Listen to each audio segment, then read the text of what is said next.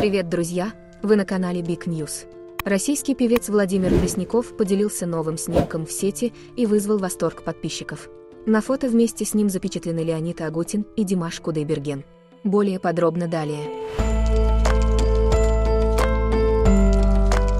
Судьбоносная встреча лаконично подписал фото в Инстаграм Владимир Пресняков. Снимок передает теплую дружескую атмосферу, видно, как артисты рады видеть друг друга. Подписчики оставили свои комментарии под фотографией. Многие попросили Преснякова и Агутина сбрить свои бороды, чтобы не казаться старше своих лет. Некоторые предположили, что следует ожидать выхода потрясающей творческой новинки. Несколько дней назад Димаш рассказывал своим фанатам, что прилетел из Китая в Россию для съемок нового клипа.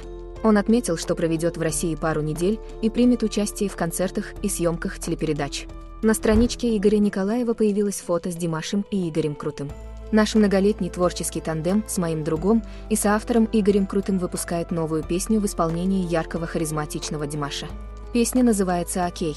Это наш сюрприз для поклонницы этого замечательного артиста, и не только. Премьера состоится накануне чудесного женского праздника 8 марта. Отметил Игорь Николаев. Спасибо за просмотр и всего доброго.